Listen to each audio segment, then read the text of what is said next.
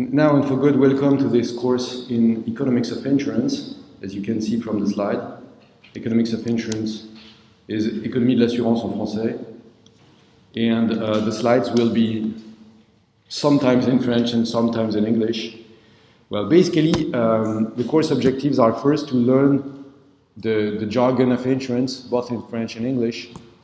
And by jargon, I mean not just you know the words and you don't know what they mean, but you know the words, you know what they mean, and you have some idea of, some intuition of not the math behind, but at least the phenomena behind.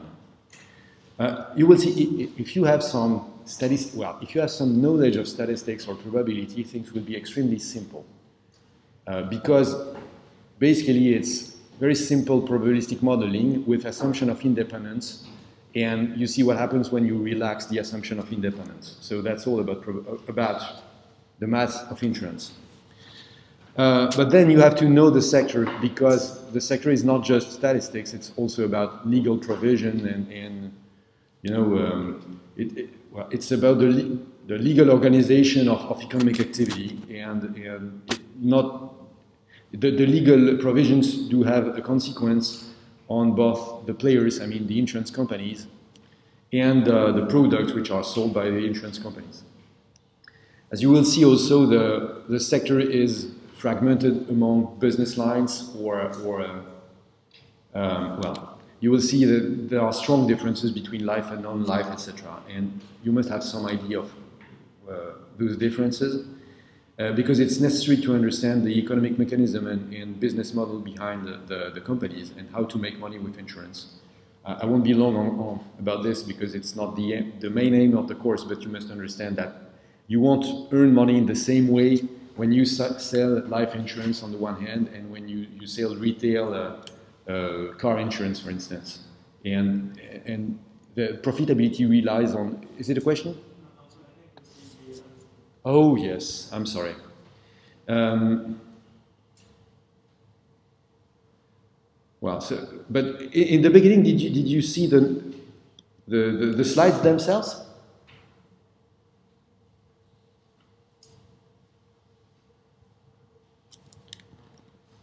No, it's, it's still not working. The problem is I cannot change. I, I, I don't see my, my mouse cursor here. Yes, I do. Um, so what shall I do? Maybe press this. It looks better. It looks better, but now, oh my God. Now I'm stuck, and, and I, I, you, I can't change the slides anymore. Well, uh, maybe I shall buy an insurance to my computer. And, uh, oh, okay.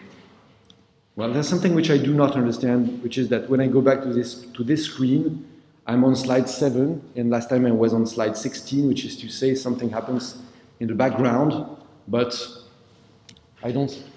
Oh my God. Um, does, does anybody has an idea of how we manage this? Because, oh, you, you can't even see the slides. Okay. So that's really bad. And so what I can do, of course, is, is press this button. But if I do press this button, the result is that you see the slides and I don't see them. Maybe you think, I don't care because I wrote the slides. But the point is that I'm not recording the slides as well. So, but well, maybe you can th you think, oh, well, I'm, I'm in the lecture hall, so I don't care about the movie. But the point is that the movie is supposed to supplement the course for those who are not here, not attending the lecture, so I'm just wondering how I can, oh my God, I have all the, the shortcuts. Yeah. Yeah, that's an option, but it will be a bit, a, a bit smaller. But you're right. Uh, maybe at the moment it's the better choice, the best choice, to get the slides this way um, and to remove me from the slides. Or I'm getting smaller so that you have more slides. Well, I'm sorry, but uh, for now it's the, the only thing I, we found. Um, so, understanding economic mechanism, understanding the business models, and understanding why this bloody computer is no stock. You see the mail? Oh my god! And understanding un un interactions with banking as. What is this? what the hell is this? well, okay, I understand. Now it's, it's because of me. It's because I, I, I pressed the wrong button, but whatever. Uh, so uh, the, the, maybe one of the course objectives should be for me to master my computer. But normally it works more smoothly. You can look at the, the movies from last year, and, and they were not perfect, but at least I had no such problem. So what I'm going to talk about now in, in the course, um, yeah, that's, that's a bit, a bit, bit better. Maybe I can as well take some things off. Okay, that's it. So uh, today I'll, I'll, show you an intro, then we'll talk about product and techniques, then about insurance theory, which is basically microeconomics. Then, maybe not in the end, maybe I, will slice them about current issues. Well, um, in fact, the, the, sources for the course are, um, when I will present the sector, that will be the first chapter of product and technique, I, I draw upon my, the paper I'm supposed to release in the Revue d'économie financière, which is about the recent history of insurance industry. Then most of the, well, the core of the course will be based on Alexis Direr, uh, Économie de l'assurance, which is still not, uh, it's still in print, but it, it, will be released quickly, I think. Um, and, and by, well, I will give you an extensive summary, so that's fine. And the current issues are based on my, my uh, you know, I, I directed a special issue, issue of Les Annales des Mines back in February about uh, insurance today. So it's full of um, topics were related, well, current hot topics in, in insurance. Uh, so that's it. So you have the references. And by the way, um, the slides will be on the course website. All the course material will be on the course website, except maybe um, what will be on my YouTube channel. And channel takes two N, by the way. Um, but well, this is funny. This is you know this is the the, the French proofwriter, and for the French proofwriter, of course, channel only takes one N because it's about the the perfume house, you know, not about the what stays be, behind the, the, the, body of, of water be, between France and, and Britain. Uh, so all the course material is on the website, except the movies which are on the on YouTube. Um, and, and, and well, my, my main problem is that all, the, all that course material is in French in the beginning, and I have to translate it. So I hope I will be quick enough. Uh, but this year it's it's a bit heavy because we're having some some problem as you have seen. Um, by the way, having uh, this material in both English and French is fine because it will give you the vocabulary in, in, both languages, which is one of the, the goals of the course.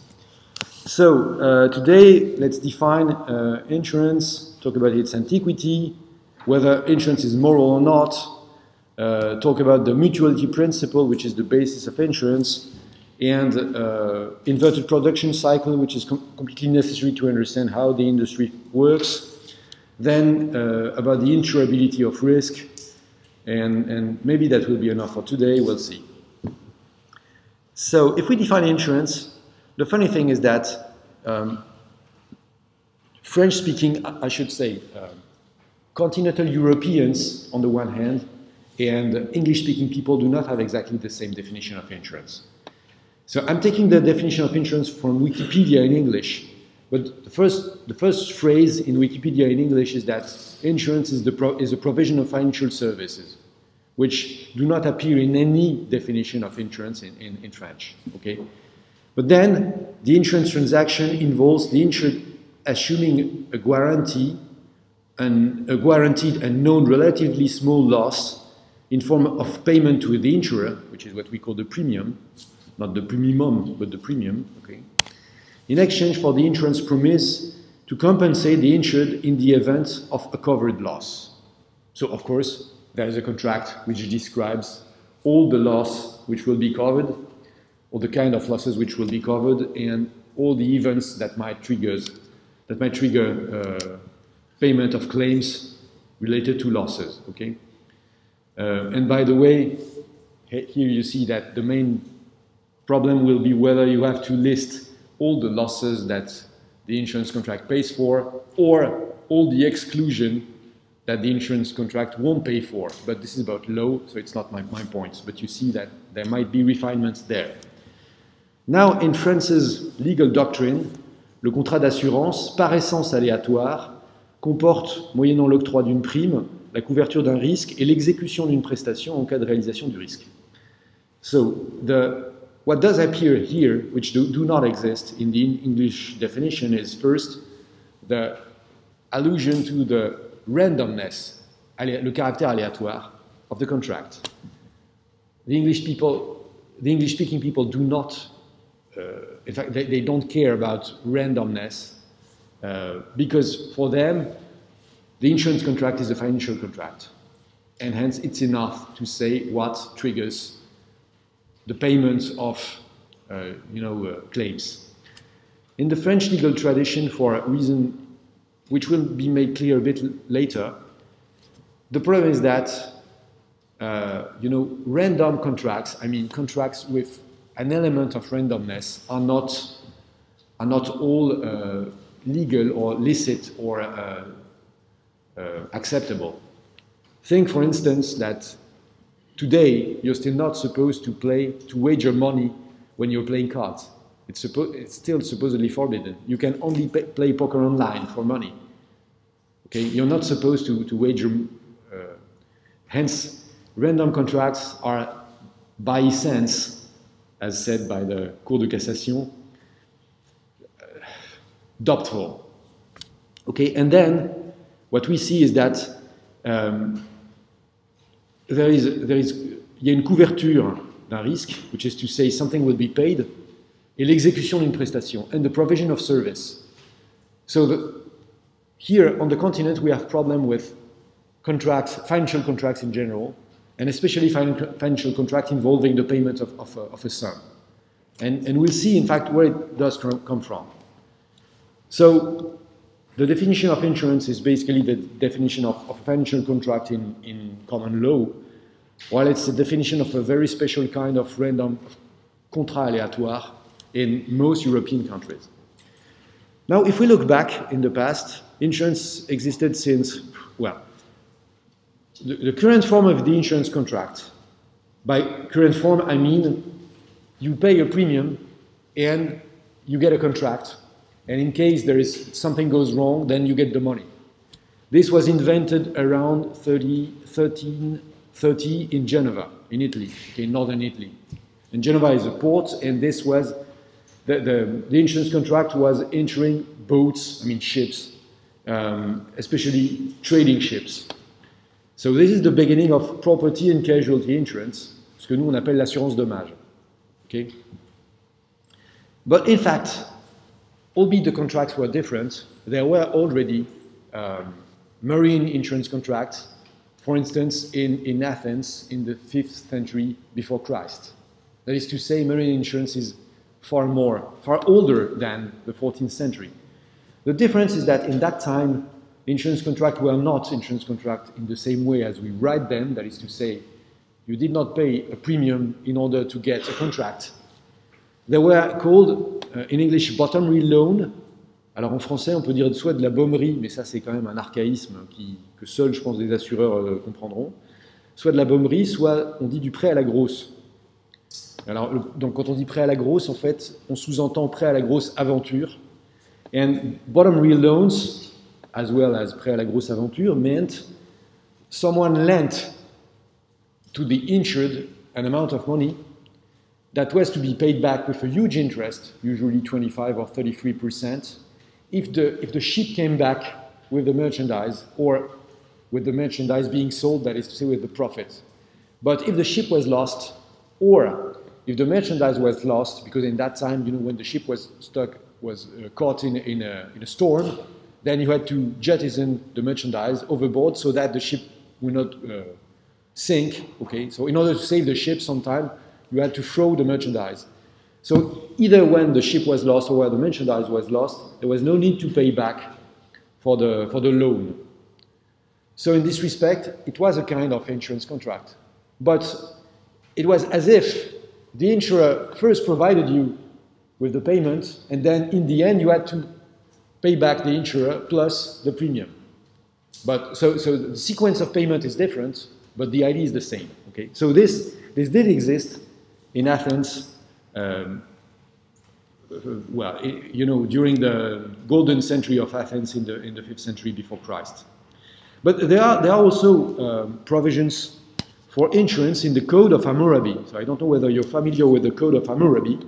You can find, find the code itself in, in the Louvre Museum because we took it from Iraq um, at the beginning of the 20th century. I should say we, steal, we stole it from Iraq, of course.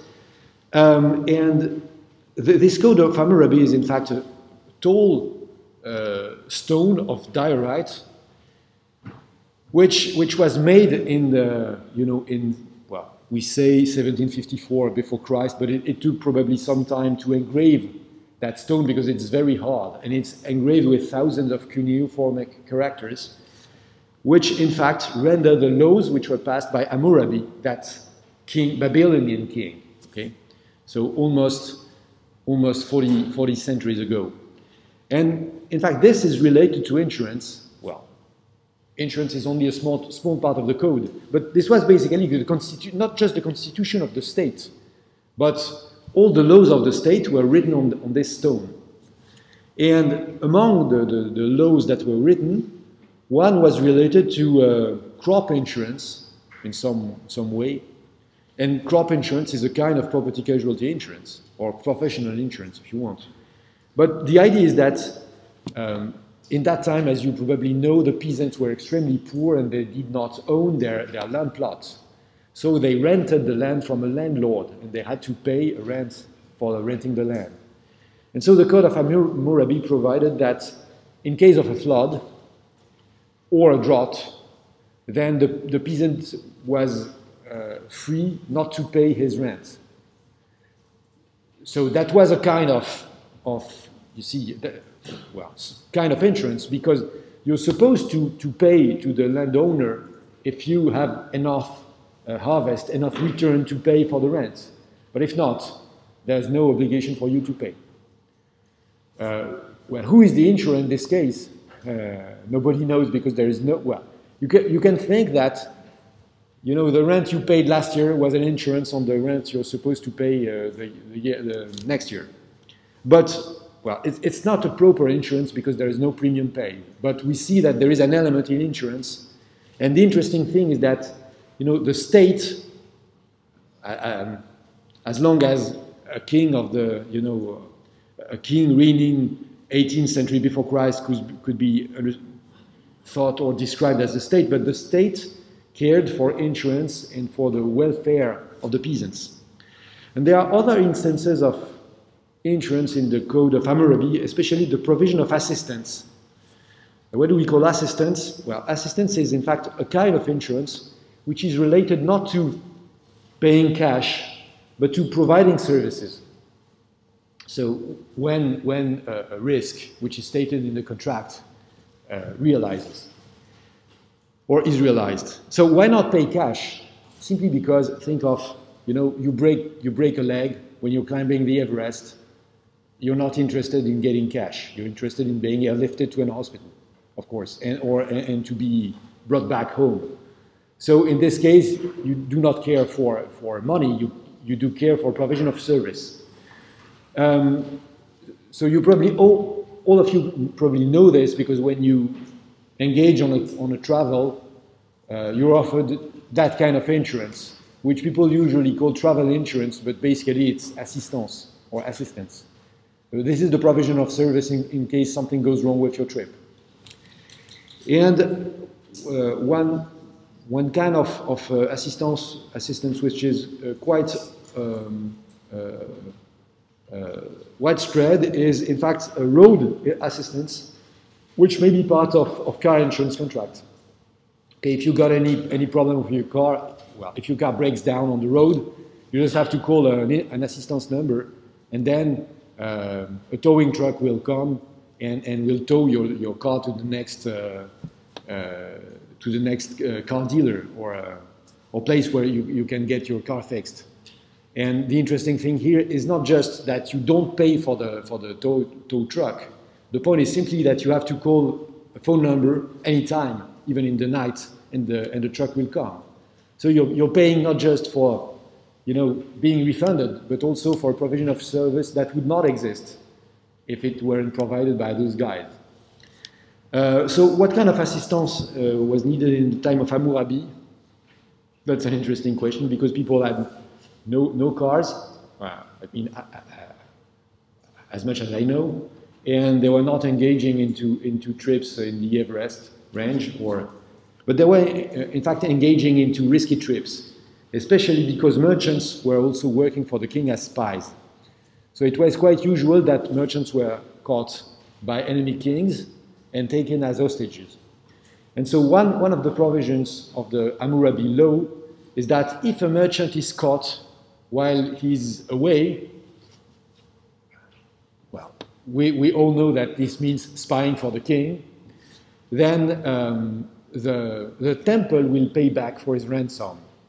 What temple? We don't know, but basically, first the temple pays back. And if the temple has not enough money to pay back, then the king himself will pay back. The funny thing is that the temple goes in there. So you don't understand exactly what is the role of the temple is the Assyrian society 17th century back, well, 17th century before Christ, but you understand that temples played an important mercantile, that is economic and political role, which may still be the case today. But whatever, so you see that as far as 37 centuries, 38 centuries ago, both property casualty and assistance insurance existed. So uh, property and casualty insurance is something very antique. Now if we look at life insurance, it's no less antique because, well, you know, there are two kinds of life insurance. We'll go into more detail when we look at the sector. There is life insurance in case of death, ce qu'on appelle nous de l'assurance décès, and there is life insurance in case of life. That is to say, the insurance against the risk of living too long. That sounds odd, but not entirely odd if you think about it, because when you're 80, 90, or 100 years old, it's not very convenient for you to work to earn your, your living. So you'll be better off if you can get some uh, income without working. That's the principle of insurance in case of life. So insurance in case of life existed at least since the Middle Ages. But we have found as well some Roman documents uh, which were measuring the value of life annuities. So we have some clues, only, cl I should say hints, okay, that there were life annuities uh, in, in the, well, Middle Roman Empire, albeit we don't know exactly the economic mechanism that was behind. We have, we have some information because, in fact, there was a guy called Ulpian. In fact, the, the complete name of the guy is Gnaeus Domitius Annius Ulpianus, okay? And he lived from around 170 to around 223 or 28. Uh, he was born in, in Lebanon, uh, the, the, country which is today Lebanon, and, and uh, in fact, where he wrote many legal texts, so he was uh, a jurisconsult. Uh, but one of his texts, which now is, well, from one of his texts, we extracted the Ulpian table, which is known, known only indirectly, which is to say we don't have the original text, but we have copies of the text or citation of the text, and especially of the table itself. So why was the table uh, insert, in, in, inserted into a text? Because since the reign of Augustus, the first Roman uh, emperor, there was a tax on inheritance. There was a 6% tax on inheritance. And the reason why life annuities should be valued was simply that in the beginning, people were giving life inheritance in order to turn around the inheritance tax. Because if you say, if you impose an inheritance tax, of course, then everything you have must be taxed. Okay? But in the beginning of the inheritance tax, for instance, um, assume instead of having an income that could be taxed, you say, oh, I, my income is not a capital, it's only an income that has been given for life. So in this respect, as it does not live longer than me, I don't have to pay inheritance on, on it, on this income. Well, at least my, my heirs won't have to pay a tax because when I, when I will die, the income will disappear. So this is the first reason why you don't have to pay uh, the tax on, on, the, on the life annuities. But there is something more subtle. More subtle. Imagine that you're a wealthy man and you want to give all your wealth to someone once you're dead. But the problem is that you know they will pay a tax. What do you do? Um, but, well, you go to a banker and you ask for the banker to arrange a contract such that uh, the guy will be paid a yearly income or a monthly or a daily or whatever income until he's alive. And, and you pay for this. Well, you make a contract with a banker and, and that's it.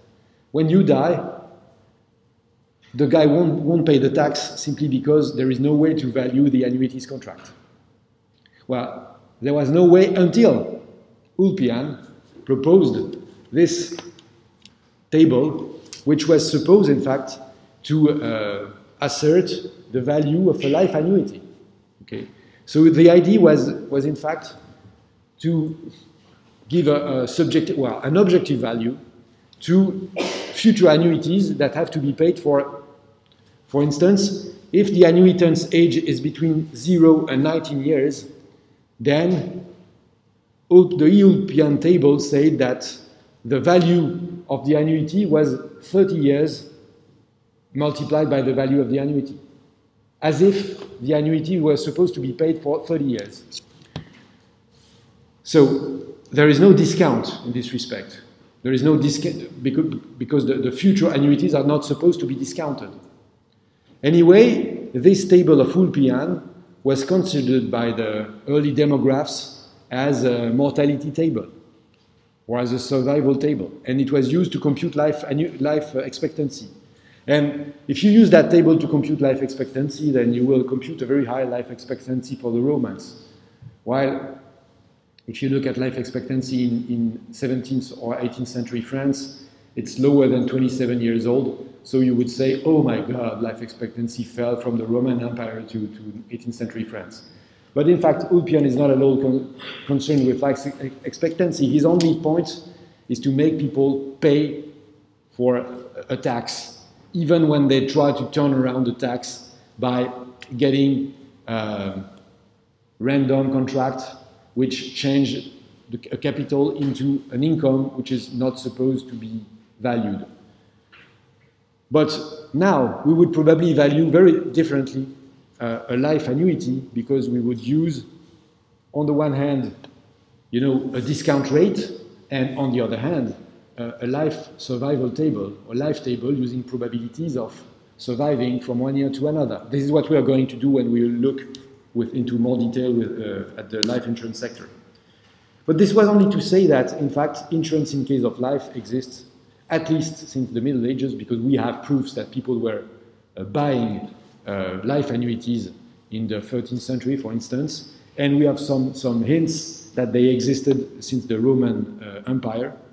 Now, insurance in case of death, that is to say, you pay a premium, and in case you die, something will be paid to your uh, to the right owners. To the, the, the, you know, when you pay a premium, you say, in case I die, please give the money to my widow, to my brother, to my wife, to whatever. Okay, and um, the the main aim of those Roman societies were to provide the death with a burial ceremony, because in the ancient world, people thought that when you die, well, that's bad, of course, but it's, it's a bit better if you can get a nice burial ceremony because it will prepare you for the afterlife. You know, you have to, to prepare yourself for a long travel and you, you'll be buried with your, the most common tools you're living with, uh, some money to pay for the travel in the afterlife, etc. So uh, uh, we have to do things well so that you can live in the afterworld. This sounds maybe odd for you, but you know, in those times, and, and still today people, well, it seems that, you know, part of being a human being is taking care of the dead. Uh, we, we, we're not just animals. I mean, when we die, we don't like the idea of laying uh, bare on, on, the ground, and well, it seems that taking care of the dead is, uh, is a minimum. But it's, it's it was really a minimum because if you think about the widows, by that time the widows had no money when the, when, when the, the bread earner, the paterfamilias, died. So insurance in case of death were very limited. And, but during the Middle Ages, and especially the, what we call the modern era, I mean since the, the 17th century, widows insurance developed. And widows insurance are a mix between insurance in case of, of death and insurance in case of life. Because the idea is when the bread owner of a family dies, then a life annuity will be paid to the remaining parents so that she could take care of the kids and of herself also, but of the kids mainly. So this is what we call superannuity, uh, for simply because in, in, in Latin, supervivere means uh, to outlive. Okay? So superannuity means annuities that are paid above uh, implying above the head of the, of the one who died. Okay, so in fact, when, when we, we look at, at all those activities, uh, we can see that insurance is, is, is, quite ancient because it dates back at least 38th century and, and the modern forms were invented between the Middle Age and, and the early modern era. But one could say that, okay, cream is antique as well, so what's the point with insurance? Uh, people, ha people have been murdering one another since the, since the beginning of humanity. So there is, it doesn't mean that, that crime or murder is something interesting and amenable to economic analysis and, and laudable. But insurance is a bit different. Okay? It's, it's not only crime, it's, it's also the provision of, of services which are uh, part of, of welfare. It's not the opinion of, of every, uh, shall I say, civilization or culture or legal systems. Well, for instance, if you look at Islamic finance, I mean contemporary Islamic finance, because nobody has any idea of what, was, of what Islamic finance was like two centuries ago. But if we look, if we look at, at uh, Islamic finance as it exists since the year 2000, uh, approximately, then insurance is forbidden, is supposed to be haram, because it is related to gambling. And, and when you look at how an insurance contract is structured, in fact, it seems to be structured exactly in the same way as a lottery ticket. Because if, if you think of a lottery ticket, the, the idea is that you pay a small amount and you have a very small probability to get a larger amount, which is, of course, far below the mathematical expectation of, of uh, what you paid. Because, you know, the lottery house has to make money. And, of course, the money is made on your back. So, uh, so you pay far more than the mathematical expectation. And when you look at insurance, it appears to be the same, albeit not exactly on the same scale. Because the premium is a bit more expensive than a lottery ticket, and uh, the risk is a bit more, is a bit higher than the, the risk of winning with the lottery. I mean, with winning the, the largest prize with the lottery. I mean, there are far more car, car crashes than people, uh, you know, earning the jackpot at the lottery. That, that's why, by the way, the jackpot at the lottery is, is striking. It's, the reason is simply uh, you, uh, it, it's quite rare. You know, it makes you some, someone uh, peculiar, special. But apparently, the contracts are structured in the same way. That is to say, you pay a small sum for a very small probability of earning a jackpot, which is both far higher than the amount you invested and has a very, very, very, very low probability of, of occurring. But in fact, this comparison is, is wholly absurd for two very important reasons which should be understood in order to understand what insurance is. So the first reason why, why the, the comparison is absurd is in fact that you won't get richer with insurance. Because if you think of, of the lottery, of course, the lottery, when you win, you win the, the prize on top of your current wealth. That is to say, you become richer. Okay. But now, in case of insurance, you earn claims. Ah, vous avez, donc, on vous paye une indemnité. Not on top of your wealth, but on top of your depleted wealth. And the point is that you're not supposed to get any richer. And that's not just a principle, it's the basis of insurance. When I say it's the basis of insurance, well, it was defined for the first time by the English Life Insurance Act in 1774, which stated that no insurance is to be made on the lives of persons having no interest. What does this mean? In fact, well, life insurance was completely forbidden in, in, on the continent. For I mean, life insurance. Insurance in the case of death was forbidden on, on the continent during the modern era. In France, it was forbidden by the uh, Grande Ordonnance de Marine de Colbert, which was written in 1681 and which said that the life insurance, l'assurance sur la vie est, est, est contre les bonnes mœurs. Simply because how does life uh, insurance in the case of death work? You pay a premium, you state uh, a person who is called a head, and if the head deceased, then you get a payment. That seems to be uh, an, an, incentive to killing the head you, you put a life insurance on. And for this reason, it was considered completely immoral on the continent. But, you know, in England, in a time where insurance was more or less a gamble, yeah, why, why not gamble on someone else's head? Well, why not? In 1774, there was this Life Insurance Act who said that you cannot sell a life insurance, well, you cannot buy a life insurance on the lives of persons having no interest, that is to say, you're not interested in those lives. Maybe, maybe the other way of describing what is a person in, you have interest in will be clearer. But basically, you, you're, on, you're authorized in buying a life insurance only for people you depend on or who are dependent on you. That is to say, you can buy life insurance only on your parents or your, your, your wife, I mean your partner, or your children's heads, but not on somebody else's heads. Why so? Because basically your parents, for some time you depend on them because they are supposed to earn more than, more than you are, and once, once they do not earn, you're supposed to take care of them. So either you're interested because they earn money, they can earn money for you, or because they cost you.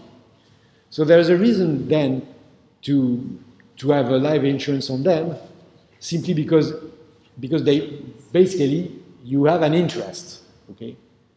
But so what, what life insurance claimed is that basically you can only take life insurance on the head of people which would be a loss if you lose them, not anybody else.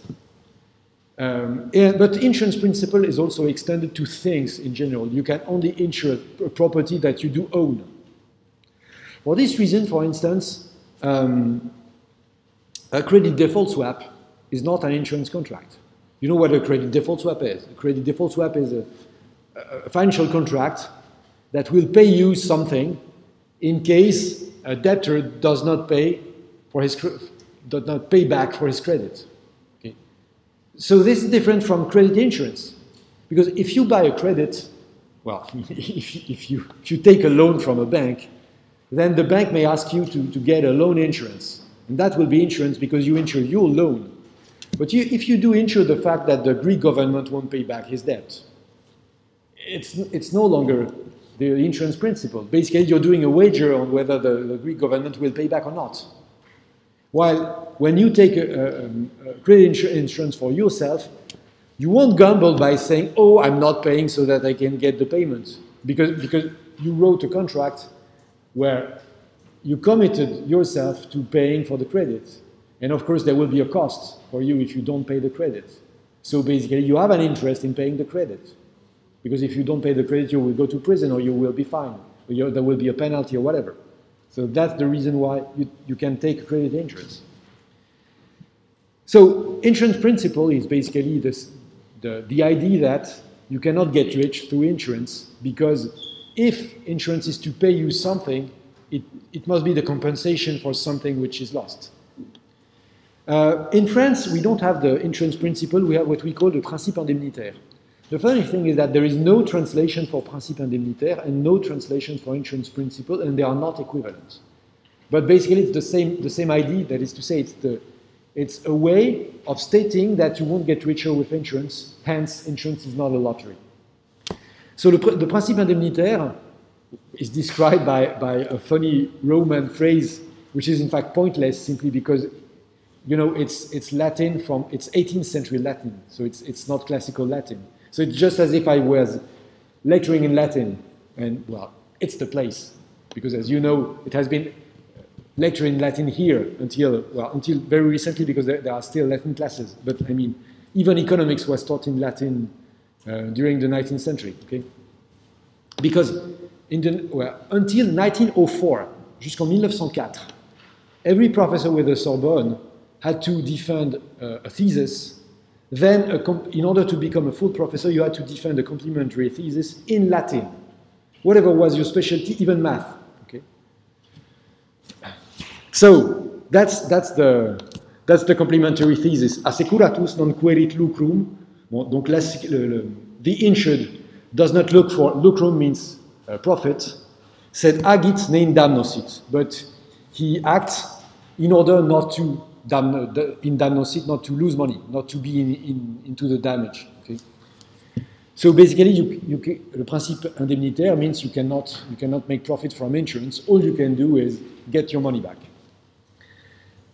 So this is a, a very strong first reason why there is uh, the, the, parallel between, between gambling on the one hand and insurance on the other hand does not make sense. It, well, in fact, it made sense before the principe indemnitaire or before the insurance principle. That is to say, when you look at the early history of insurance in the Middle Ages or in the 17th century, basically these are insane wagers. Even in, in, in, Britain, in the beginning of the 18th century, there was a so, so-called insurance bubble where people were selling insurance contracts on, on almost everything. For instance, there was there were insurance on losing at the lottery, which, which makes, of course, no point. So, but, but this is to say that in that time, insurance was a wager. But once you get the insurance principle, it's no longer a wager because you, you cannot get rich. Of course, what you can do is try to, uh, you know, uh, to steal from the insurance company, okay, by uh, uh filing fictitious claims and, well, but this is, this is not insurance. This is fraud. So it's something else. Uh, but there is a second reason why, why insurance is different from lottery, which is that basically both the provider of insurance, the insurer, and the buyer of insurance, the, the insured, they do have the same interest uh, up to a certain point. But their common interest is that uh, the risk doesn't materialize. Because when the risk comes in, of course the insured, he will lose something, but the insurer, he must pay. He must pay. So he's not interested in, in the realization of risk. While with a financial contract, what is lost by one, by one party is in fact earned by the other one. So in a, in, in in a purely financial contract or in a, in, yeah, in a purely financial contract or in a wager, uh, both parts, both parties do not have the same interest. They have opposite interests. You can think that in the case of insurance, of course, the insurer, he has in some respect an interest which is opposed to the, to the insured, because every, every pound which will be paid, every money which will be paid to the insured, to the insured is lost for, for, is lost for the insurer. But at least when we think of the risk, they do have a common interest in front of the risk. While in a financial contract or in a lottery or in a gamble, both parties do have an opposite interest in front of the risk. Because the, the triggering events separates those who loses from those who gain. Now it's time. It's over. Now it's not over. But one very strong way to align the interests of the insurer and the insured is the deductible. Uh, deductible en français, c'est la franchise. In fact, the deductible is the sum which is not insured, first which will not be paid back by the insurer. Uh, the deductible is in fact very old because, well, it, it comes from mar marine insurance, and it was compulsory in marine insurance since at least the Consolat de, de Mar, which is a, a book which summarizes all the maritime law of the province of Valencia in southern uh, Catalonia. So the Consolat de Mar uh, has been published for the first time in 1494. but it is thought that there were early uh, handwritten copies. So it's, it's quite uh, an old text. And the Consulat de Mar uh, fixed the deductible as 10% of the values insured. Why, why shall we say that it does align the interest of both the insured and the insurer? Simply because it guarantees the fact that the one who buys insurance, he will lose 20, 10% of what he insured. Because if you pay, if the insurer pays for the whole value of the ship and the merchandise, then of course the insurer doesn't care anymore because he knows that whatever happens, he will get the money back. This is exactly what we call moral hazard. Okay? In, in maritime insurance, we don't call this moral hazard because moral hazard is a 19th century term. We call this baraterie de patron. But whatever. Um, the idea was, in order to align the interest of the insurer and the insured, then it must be sure, we must be sure that the insured doesn't, doesn't get all of his money back. He loses something, as does the, the insurer, so that we set up the deductible as absolutely compulsory. Do you have any idea of what was the punishment in case there was no deductible in the contract? Death. Okay, so um, just to say that this was a serious matter. Of course, uh, in this respect, death was never applied as a penalty, but it simply meant that if you're caught, you better leave for good, because if you're caught a, sec a second time, then you'll be killed. Um, okay, uh, by the way, uh, the deductible, called in, in, French franchise, was also made compulsory by Colbert's Ordonnance de Marine. That is to say, there is a strong uh, foundation to deductible in order to align the interest of both parties to the insurance contract. We'll see when, when we look at the demand for insurance, we'll see how this works. Um, so, here we are. Insurance is ancient. Insurance is not a crime. Is, is not just a, gam a gamble. But now the, the next uh, point will be to show that insurance provides a real service and the, the provision of service is done via what we call mutuality. Where does mutuality come from? Well, it's a bit like diversification, but we'll start with an example. And by the way, in case you forgot, uh, I'm teaching statistics in, in, third year, you will find with this example that it, it was designed for two reasons. First, it served to illustrate uh, portfolio diversification, okay, and on the other hand, it also served to illustrate uh, the mutuality principle in insurance. Okay, the idea goes, goes uh, so. Uh, you have two, two kind of financial assets with the same, well, the, the, the return on these financial assets is random, and all we know is that both financial assets do have the same expected return and same um, standard deviation of returns. Okay, so basically it's the same financial assets, but there are two of them. That is to say, they can be correlated or not. And, well, you can see this setup with a portfolio selection approach by saying, okay, the first portfolio is that I buy, I buy 10 of the first asset. The second portfolio is I buy 5 of the first asset and 5 of the second asset.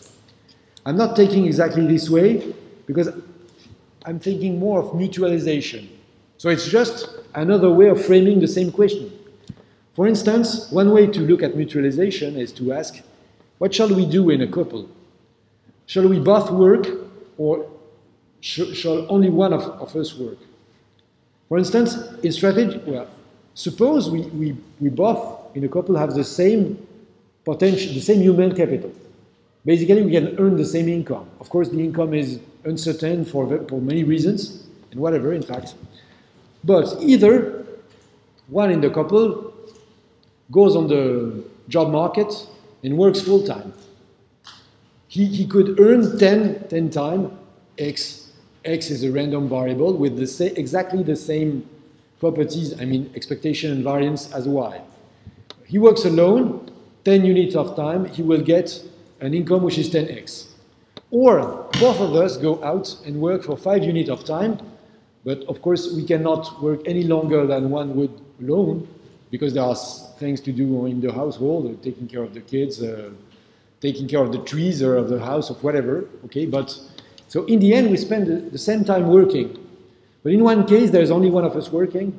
In the other, uh, with risk pertaining to bargaining with uh, with the customers, uh, with the um, um, well, whatever. The idea is that per unit of time, there's a random variable which gives you a return, and if I work alone, then the income of the, of the household will be 10 times the random variable. If we work both uh, part-time, then the return of the household will be 5 times the first random and 5 times the second random variables. So what happens? It happens that, of course, the expected return will be the same.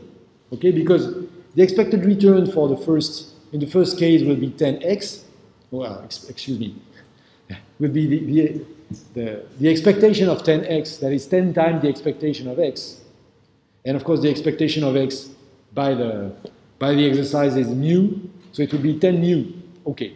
In the second case, the expectation of 5x plus 5y is 5 times the expectation of x plus 5 times the expectation of y, that is to say 5 times mu plus 5 times mu, that's 10 times mu.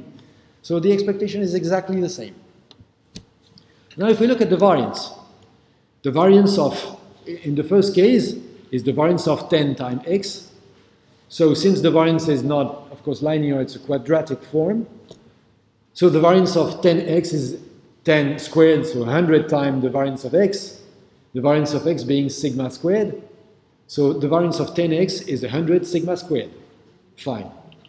Now if we look at the variance of the second strategy, I mean, each of us work part-time, then the variance of 5x plus 5y, for the same reason, in 25 is 25, I mean 5 squared times the variance of x, plus 5 squared, 25, the variance of y, plus 5 by 5 by 2 covariance between x and y.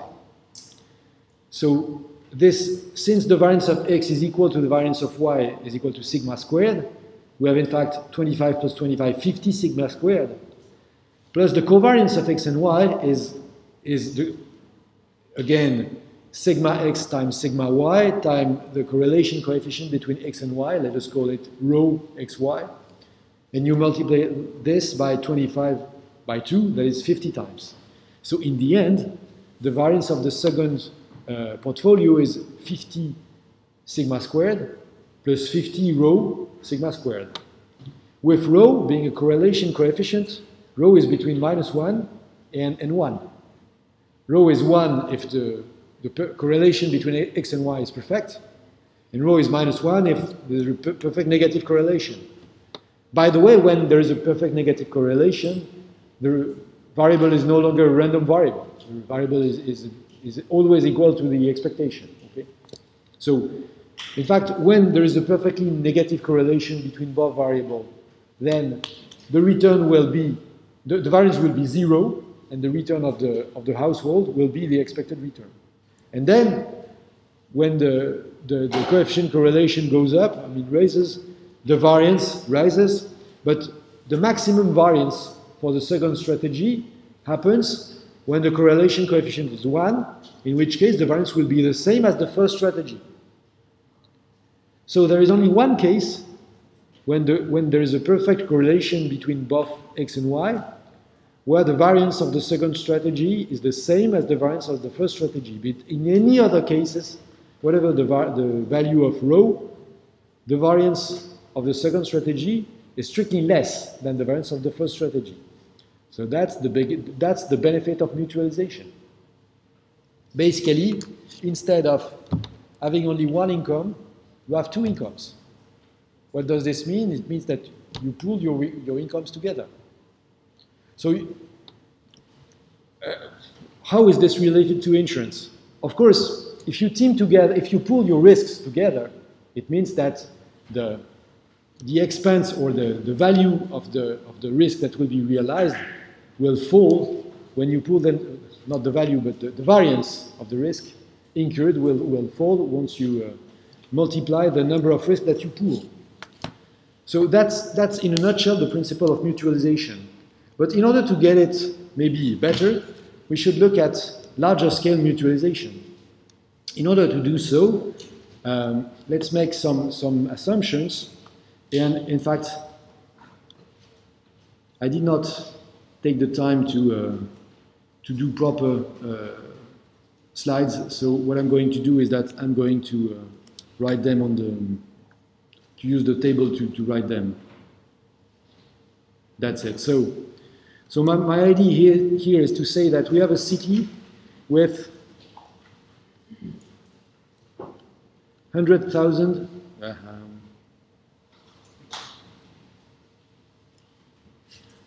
Do you think it works? This is the number of inhabitants, okay, 100,000. Then, then what? Then we have a probability of fire which is 0.1%. So the probability is 0.1%.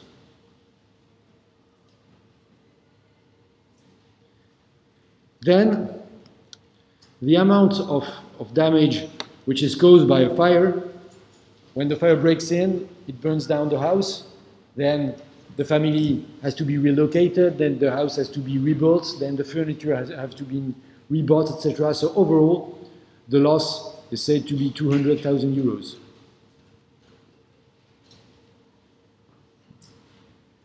Oh my God, what is this? So the loss is supposed to be 200,000, okay? Now first, let's, let's look at um, what is the average damage that will be done every year. So the average damage, um, what is this? Let us call D the variable which is the total damages, okay? or the total loss. So the expected, the expected D is in fact the number of house multiplied by the probability multiplied by the by the value of every house.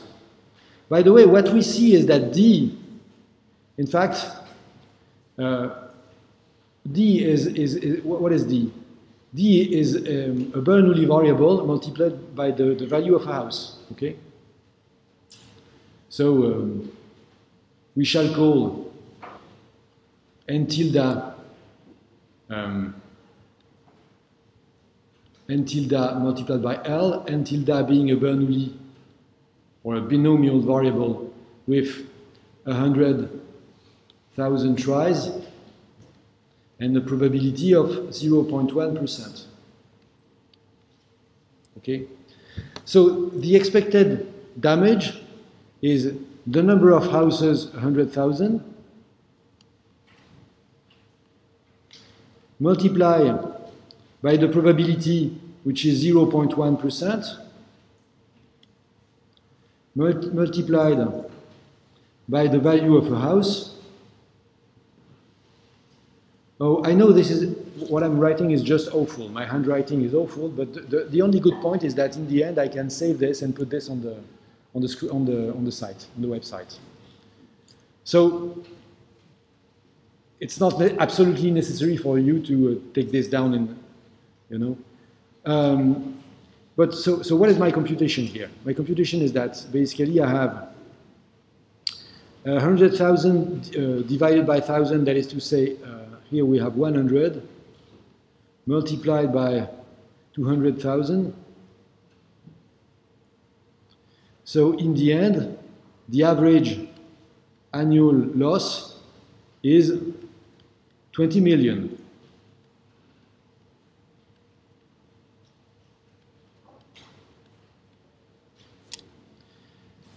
So what should be the premium if we design uh, an insurance scheme.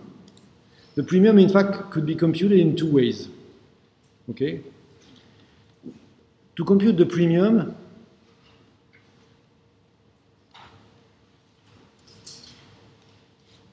let's, let's, let's think of the pure premium, which is the mathematical expectation, okay?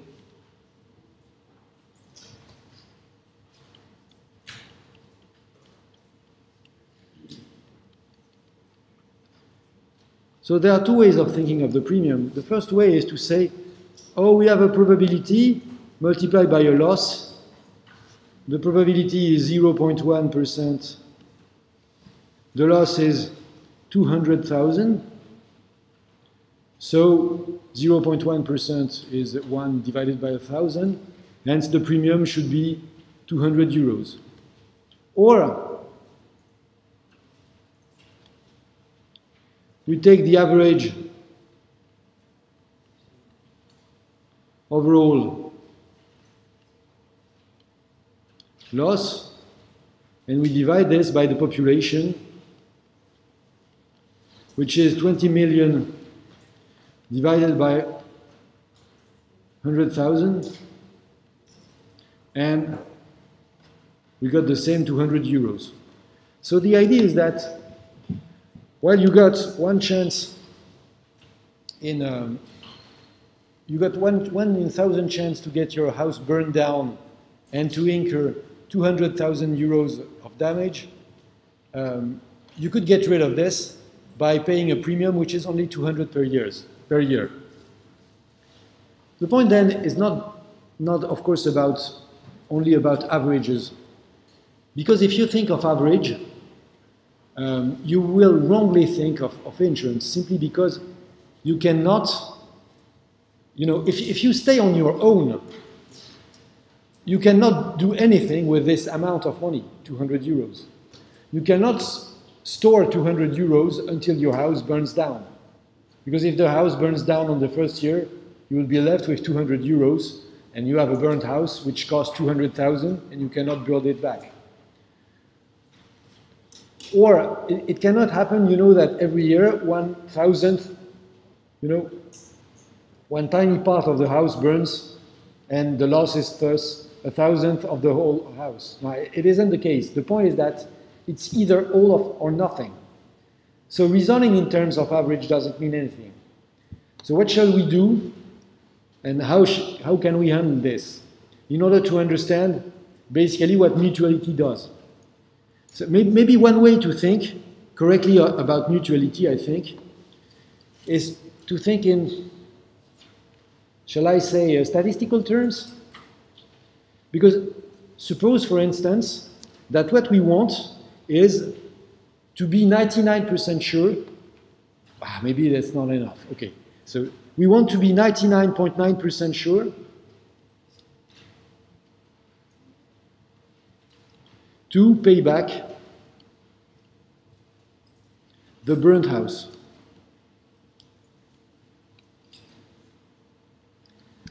How do we manage to do this?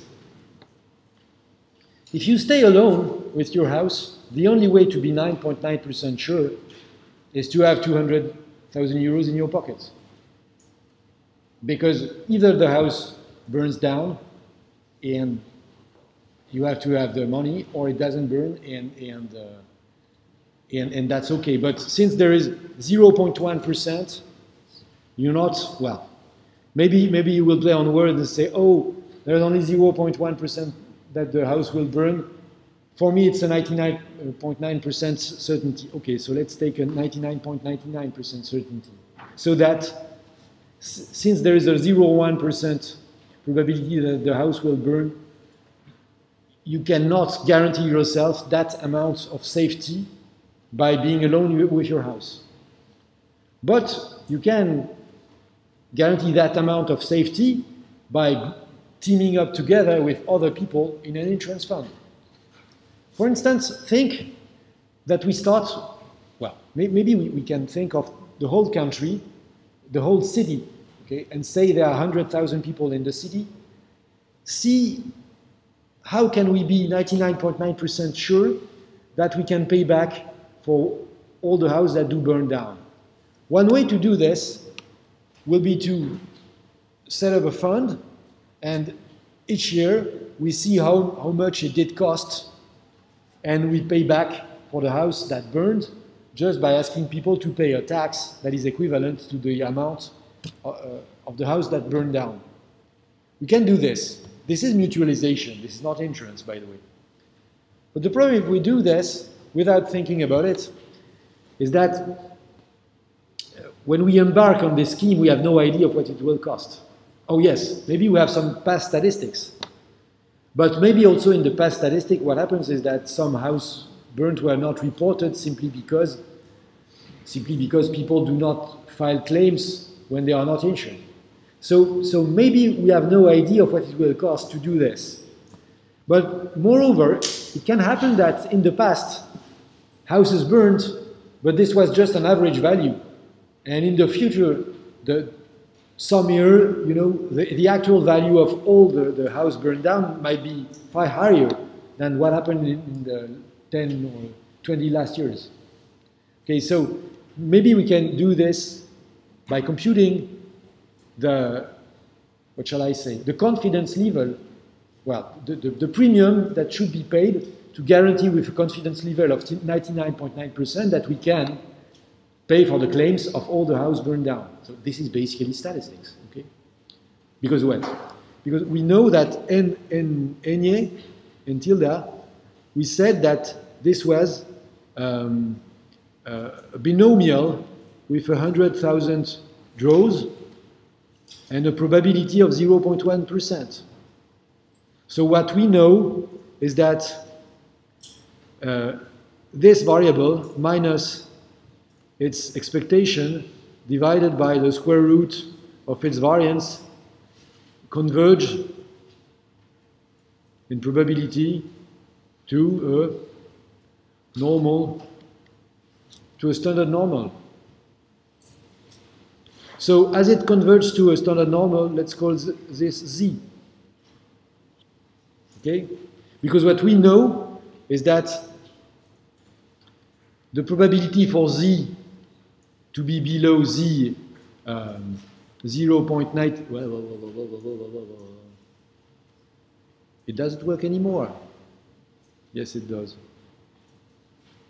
So we can compute, we can find, you know, a value which we will call Z 0.99999 or the quantile 0.9999 which is such that there is a probability, 99.99%, that the number of fires will be below that quantile. Okay, that's the basic of, uh, of statistics. How much is this? How much is this Z 0.99999? Well, guess what? We have to have a look at the tables, okay? So if I look at the tables,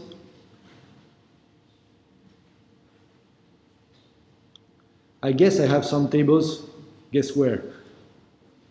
In the directory for statistics. Yeah. Because if I look at my cahier TD,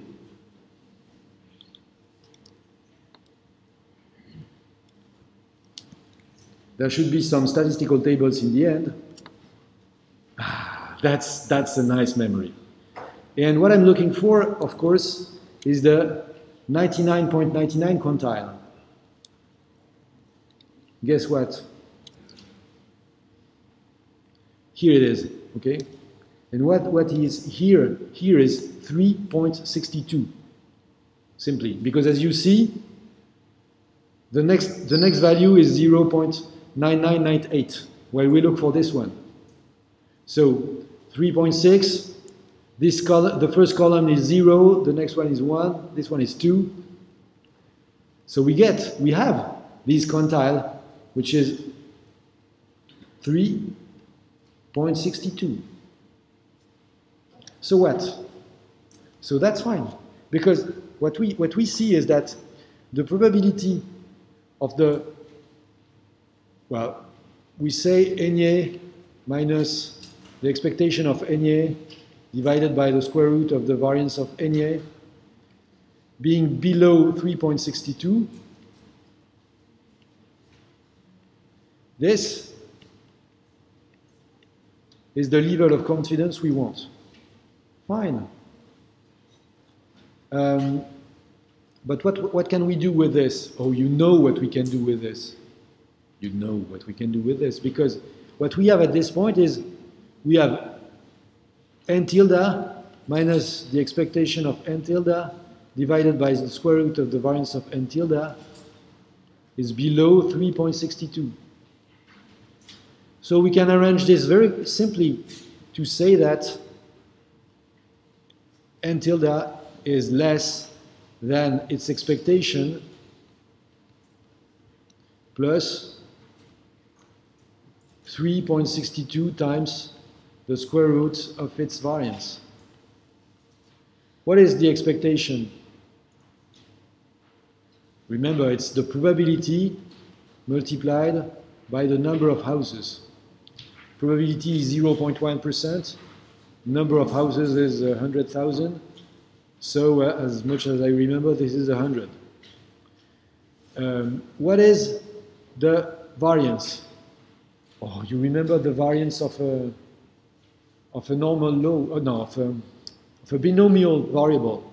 It's, it's in fact the probability multiplied by the number of cases multiplied by 1 minus the probability. Okay, so we just computed the first one, which is 100. 100 multiplied by 0.99 is 99. Don't tell me this is difficult a variance to compute, because of course, the, the, the, square root of 99, we don't know what is the square root of 99, but it will be enough to say that this is approximately the square root of 100, okay? Because the square root of 100 is 10, so it's among the simplest calculation we can do. And what we have here is 100 plus 36.2. So basically, if we want to be completely sure, we say that, because it, doesn't make sense to have 0.2 fires. Okay? Oh my God, last year I had 0.2 fires in my home. It doesn't, doesn't make any sense. So to be sure that we get a majorant, we take 137. And we know that with a 99.9 confidence level, which is quite high, believe me, with a 99.9 confidence level, um, we will have less than 137 fires. So the, the premium which will be derived from this is in fact 1.37 times 200. Okay, so the premium which is the 99.9 premium for a 100,000 household, is 1.37 times 200. So the fantastic thing is that by paying, by paying 37% more than the expectation, we're 99.9% sure then that we, we can pay back for all the houses that will be burnt. While if we pay only the mathematical expectation, what is the probability that we, that we can pay for all the burnt houses?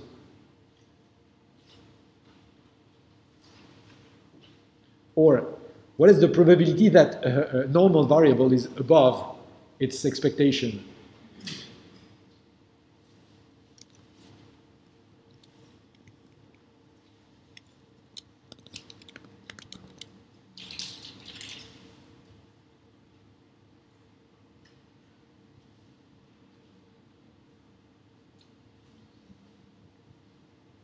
Don't remember? You don't remember that a normal distribution is symmetrical around its mean, around its expectation. That is to say, the point with, with a normal variable is that you have 50% probability to be above the expectation, 50% to be below. That is to say, if you charge only the mathematical expectation, there is a 50% chance that you cannot pay for the, the damages incurred by your insured. So that may be a problem. But now, if, as in the exercise, you have a thousand, a hundred thousand insured with only a 37% premium on the mathematical expectation, then you can guarantee with a 99.9, 99% of confidence that you can pay back for all the losses. Uh, would it be any different if instead of 100,000 insured, we took, for instance, 1,000 insured. This is to illustrate how the mutualization principle works. So the question here, here is, is there any difference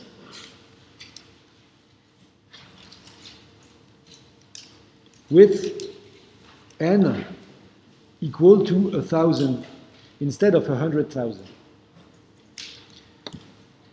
Well, then, if n is equal to a thousand, what we have is that the number of, well, we, we can write that exactly in the same way, okay, we have n tilde minus uh, the expectation divided by the square root of its variance is a normal 0, 1, etc.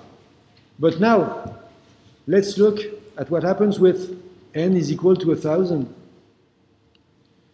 What we have is that in the same way, NA is below its expectation plus 3.62 multiplied by the square root of the variance. In fact, the formula doesn't change because the, the quantile is the same. We're still considering a random variable, which is normal. You remember that the central limit theorem works as long as there are more, more than 30, 30 n is about, about, above 30. Okay? Once we have more than 30 households, it works. So how does it work there? What we have is that we have NA still, which is below that time the expectation is uh, n multiplied by p plus 362 and p 1 minus p. There, n multiplied by p is 1. Okay? Because it's 1000 multiplied by 1 divided by 1000. And there, what we have is the square root of 1 multiplied by 0, 99. Hence, now what we got is n is below approximately 4.62. So it's far less interesting. Because while the expectation is 1, the, the number of, of fires that has 99.9% not to be um, not to happen. I mean, there is a probability 99.99% that the number of fire which will happen in a given year will be less than this. But now, the premium should be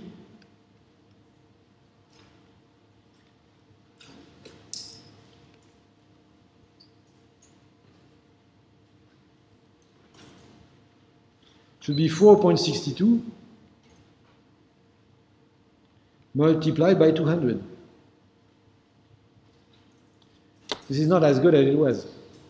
So what you see, well, it's still better than paying the full value of the house. Okay? But um, because, because basically this means around a thousand euros, okay? While the value of the house is still 200,000 euros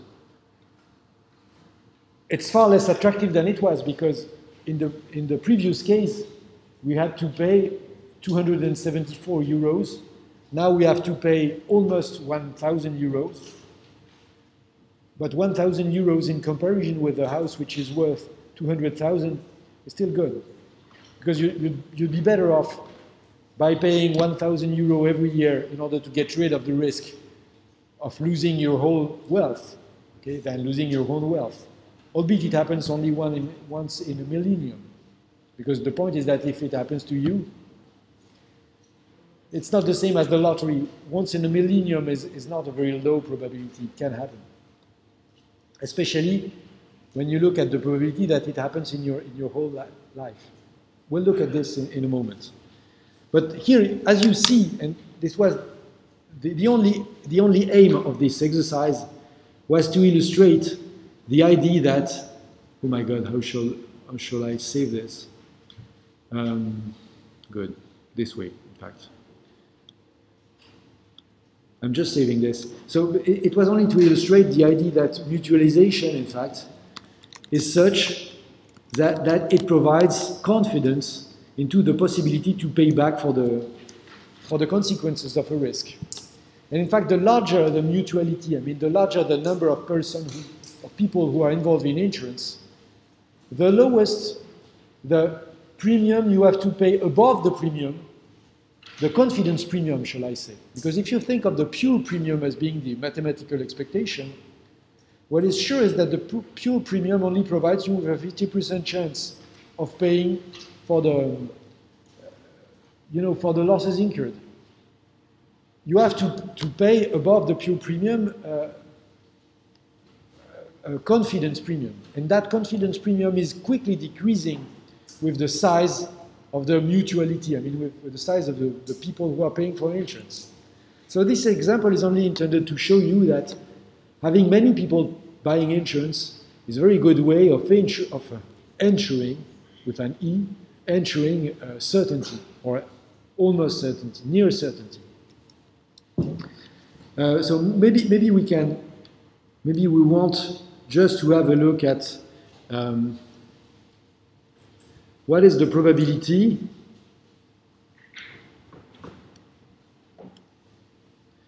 So, um, so I have a probability 0.1% of a fire. What is the probability that I will not get a fire in, in my whole life if I live, for instance, 100 years?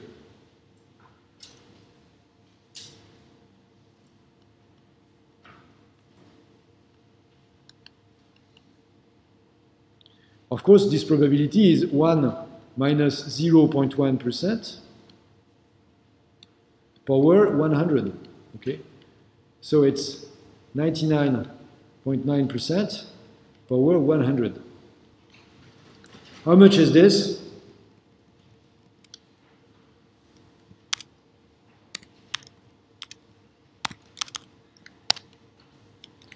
This looks better with an equal sign, you know. So it's 90%. Okay.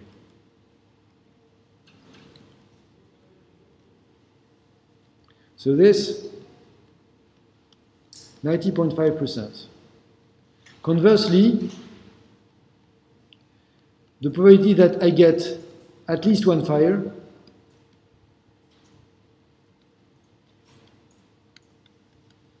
is 1 minus the probability we just computed. So it's 9.5%.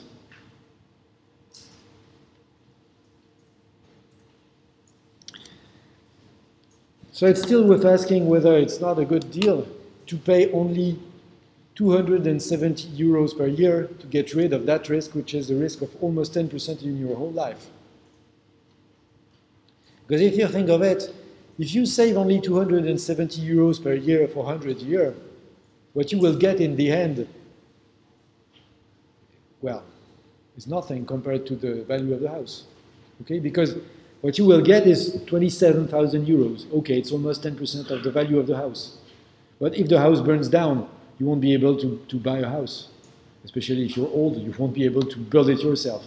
So overall, as you, can, as you can see, if the mutuality is large enough, so if there is enough people who buy for insurance, usually it's profitable to buy insurance.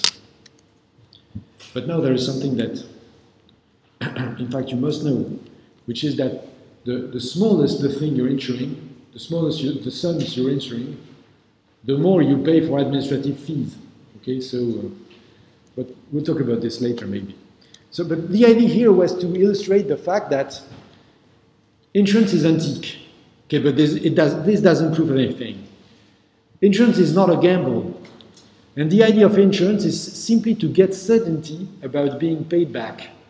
It's getting the certainty of not to lose your wealth, of getting the certainty of not to lose what you have by this magic, which is simply the central limit theorem, which is simply that when you use the central limit theorem, you show that the you know, the certainty premium is decreasing with the number of people who buy insurance. And that's it, it you know, for this reason, insurance look, looks very much like applied statistics and no more. Because once you get the central limit theorem and once you get the basic statistical exercise, which is computing the, you know, the certainty premium, you got the whole stuff. Maybe not entirely, because in fact, not all insurance contracts rely on the central limit theorem. But this is the main idea. Now, if you want to understand how the activity itself is carried on, uh, there are two more things to understand. The first one is about the inverted production cycle, which makes the insurance very spe special in all economic activities, in all economic sectors. And then the limits to insurability, as we defined it with the central limit theorem. So first, the inverted product production cycle. What do I mean by inverted production cycle? If you think of any economic activity, first you produce the goods and then you sell them. Even if you think of a hairdresser, um, people pay you once they got their hair cut. Okay, so even with the provision of services, you have to provide the good, the good or service first, and then you get the money. So the usual economic activity is, that you, you must have some investment, some capital out before getting some, some income. With insurance, it's completely the contrary because first you get the premium, and then maybe sometime you will pay for the claims. That's the inverted production cycle. Okay? Instead of doing the job and then getting the money, you first get the money and then some, no, no, then you, you, you do the job. But you're, you're paid upfront. You're paid before you provide the service. Of course, you pay before you provide the service simply because if you, if you try to do it the other way, nobody would pay. People would say, ah, no, no, I didn't buy the insurance. Because, of course, as long as people do not have a, a they do not experience the risk, they're not willing to pay. So for this reason, you have to, to make people pay upfront. But since you make people pay upfront, you get the cash first, and then Sometime you must expend the money, sometime very late, okay? Because if you think, for instance, you know, in, in France, there is what we call l'assurance décennale de construction. Every house builder is supposed to insure himself. He goes to an insurer and he pays for an insurance so that in case the house he built ha have a, an issue, the insurer will pay. Why, why is there a, compulsory insurance? Simply because at some point in the law, when the law was enacted by, back in 74, I guess, the builder himself was li liable for the, for the, the failures of the house. But of course, what, what the, the, the, builders did is that they, they go bankrupt every two years so that they don't have to, they, they were no longer liable for the liability. So the liability which was made compulsory by the law did not work, so the builders were required then to, to, to buy a house um, contract to insure their liability as builders. So now, l'assurance décennale is supposed to work thanks to the provision of insurance services. And as this guarantee is lasting for 10 years, you know, the, the, the insurers may, they may make extremely late payments. Because if you know, you build a house, somebody buys the house, you, buy, you, you pay the premium for your uh, decennial construction insurance. Then it takes you two years to build a house. Then it takes you two years to sell the house. Then the guy experiences some failures after 10 years in the house. Then, of course, the builder will say, oh no, it's not me, the guy, he, he was you know, the way he used the house is not the right way. So you pay for an expert, then a lawyer, then there is a, a case in court. It takes another five years. And then in the end, after 20 years, you're supposed to pay something. So as you can see, the claims may be extremely delayed. Okay? You, you prob probably also heard about those cases involving um, people who were born um, with a disability and once they became an adult, they sued the, the physicians who, uh, you know, who made them uh, live. And, and so that is to say that the, the, the, the, the suits, the, the legal proceedings were done 20 years or even later after the, the, the birth of those guys. And of course, the physicians, they were insured. But the, that is to say that the insurer had to pay claims decades after the, the, the, the problem uh, happened. So for this reason, well, of course, it's not the case when we are talking about health insurance. For instance, the health insurance you have as students, when you go to the pharmacy, you pay the, you know, you, you expend the money and, and, then the insurer pays back a week afterwards. So sometimes the inverted production cycle is a very short cycle, but sometimes the, the cycle can be very long. And whatever, every time the, the, the production cycle for insurance is the same, that is to say, the insurer first charges the service and then he pays sometime very late. And when I say very late, the, the problem is not that the, the insurer is not honest in paying late. The point is simply that it can take time for the risk to materialize. Yeah. If we see the, the, the service of the insurance yeah. Uh, as the elimination of the risk, yeah. in that case, we would have a that it's right. You, you pay the, the, the premium, yeah. you eliminate the risk. You, are right, and, and this is the way, in fact, it is, it is registered in the account of the insurance company. You, you exactly make the point, because at the moment where you sell the contract, you have to be able to say how much it will cost you in the future and to discount that value. Because, because in order to compute the premium which is paid, you must have an idea of how much it will cost you, and a very precise idea. That's why, in fact, the balance sheet of an insurance company is very peculiar, as we will see. But basically, the idea is that, albeit you must know on time t0 how much you do charge, uh, you will pay probably later.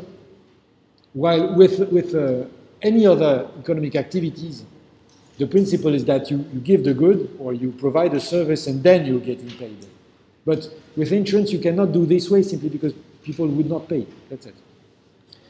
So uh, I'm supposed to end the course 10 minutes before the time. Oh no, well, we have some time still. And, and we can look at the balance sheet because, as you have said, um, even if the payments are made later, of course the insurer must have a very precise idea of how, in the end, he will have to expend to pay for, uh, for the contract. Okay? So for this reason, the balance sheet of an insurer is very different from the balance sheet of any economic activity because most of the liability side is made up of reserves or mathematical provisions, which are basically the expected value of future claims to be settled. Okay, c'est l'espérance mathématique des indemnités à payer. And when I say a large part of the, of the liability side, as you see, it's 85% of the liability side. Of, this is in fact the consolidated balance sheet of insurance institution of the Eurozone. So it's a quite large sample. Okay, this balance sheet is more than than uh, 10, 10 billion euros, uh, 10,000 billion euros. Okay, so and the re- in fact the rest of the liability side is almost nothing. So now when when you look at the at the, the, the asset side, well, when you look at the asset side, what happens is that uh, what you have is that you have some cash because the insurer overall they they are used to pay on a quite rapid basis, especially you know those health insurers. Health insurers, in fact, they are providing uh, uh, more or less a, a cash service because basically they pay what you would pay, but they provide you with a cash flow, which is your your cash flow of expense. Okay, so for this reason they have to be liquid, and for this reason those companies they have maybe 50% of their, well, a large part of their balance sheet as cash. Okay. But now if you look at, at life insurance companies, for instance, who you pay to life insurance company during all your working life, and then when you go on retirement, you start being paid a, life annuity. Those companies, of course, they manage a huge amount of financial assets which they store, expecting to pay you your pension years from now the, there you have the two most different models of uh, asset side for, for uh, insurance companies. Those who are very liquid because they provi- provide liquidity service, such as health insurance company, enfin ce qu'on appelle les mutuelles en français, d'accord. Pas la health insurance américaine, mais sur laquelle il y a aussi une dimension d'indemnisation et tout, donc ça peut être euh, moins liquide. But health insurance is basically liquid, hence much cash and not much long-term assets, where life insurance is very illiquid because you're, you're 25, you're paying to the life insurance company and you're not supposed to get retired before 60, 65. So they store your assets during 40 years. So the, the assets, well, of course, the liability side of the balance sheet is what they owe to you, but the asset side is the assets where they invested your money. And this is basically very long term assets. And the reason why they try to match the, of course, the duration of the asset side with the duration of the liability side, if, that, if they don't do this, they will be exposed to uh, maturity mismatch risk. Okay, but so as you see, the inverted cycle makes the insurance activity very peculiar because it's a financial activity. But it's a financial activity where you have an a, a liability side which is quite difficult to value and an asset side where you have specific risk and the largest risk with the asset side is the, is the matching of the liability duration. When you think of a bank, for instance, in the case of a bank, the liability side is well known because basically the, the liability side of a bank is deposits of the customers and then loans. And of course, a loan is such that you're supposed to pay back the amount that you borrowed. Okay?